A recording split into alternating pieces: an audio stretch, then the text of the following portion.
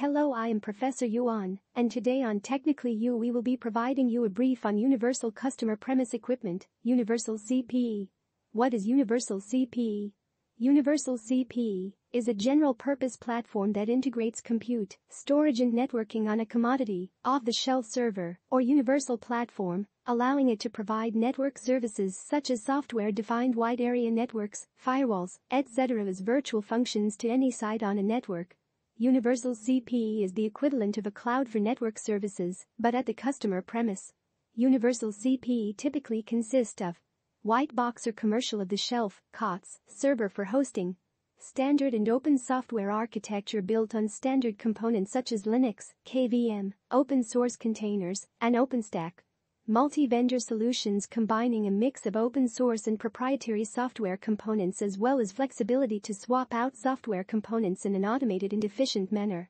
Zero-touch deployment provides the ability to perform service turn-up without pre-configuration or manual intervention. Over the years, network service providers have continued to utilize virtualization techniques to decrease operational expenditure, time to service, and to create new value-added services.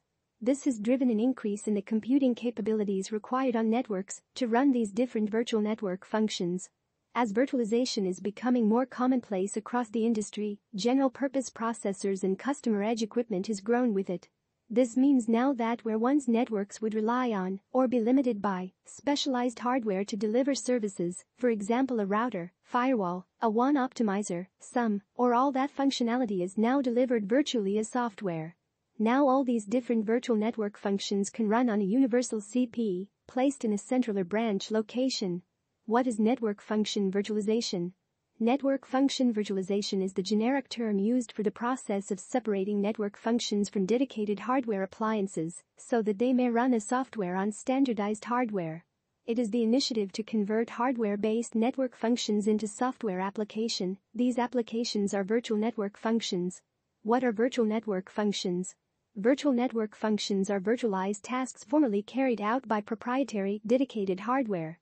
Virtual network functions move individual network functions such as firewall, software-defined wide area networks, out of dedicated hardware devices into software that runs on commodity hardware or white boxes.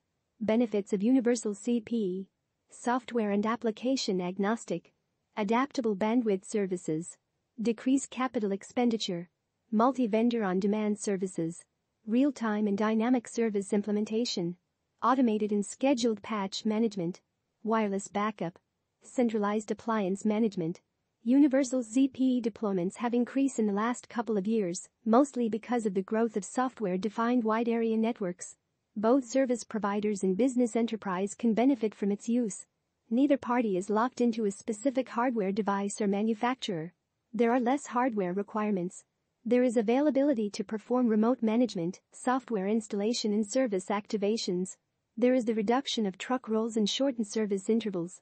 And finally, there are capital expenditure reductions, one server, multiple applications and services. Universal CPE complements and fits nicely along with the advancements in edge computing and cloud computing services. This is our technical brief for today. Thank you for watching. If you found this topic interesting hit the subscribe button now.